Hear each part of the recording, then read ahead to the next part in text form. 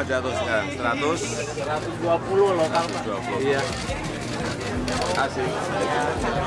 Ini bu-ibu ini belanja. Iya.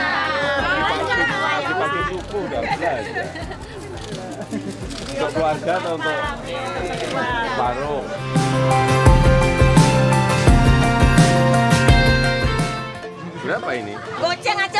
Pak Jokowi yang beli. Goceng. Eh, goceng aja ada murah. Lima ribu?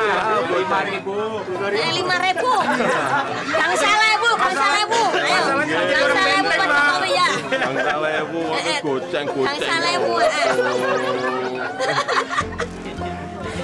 Ayo. Udah jadi orang benteng ini goceng ya? Bu, ya? Iya, udah kelamaan 35 tahun di sini. Iya. Yang Budi Aceh digusur Pak, saya itu Pak. Budi Aceh? Heeh.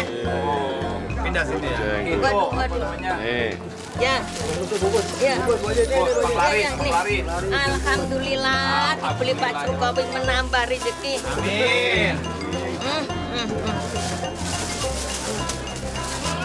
Alhamdulillah, ntar dagangnya lancar. Amin. Terima kasih ya. Terima kasih ya. Kembali Pak Adin, Pak Jokowi kembali. Oh terima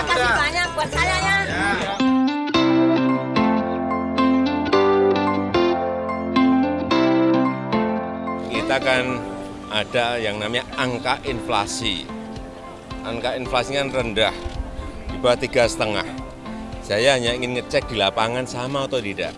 Angka inflasinya di bawah tiga setengah, lapangannya sama enggak? Jadi setelah kita cek semuanya memang harga stabil, stabil.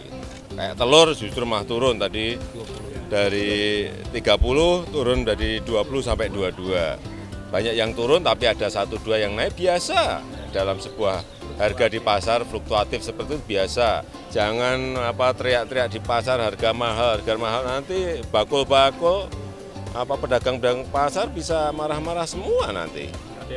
Nggak ada yang beli. Nanti. Ibu-ibu nggak ada yang datang ke pasar. Iya enggak malah datang ke mall datang ke supermarket datang ke hipermarket.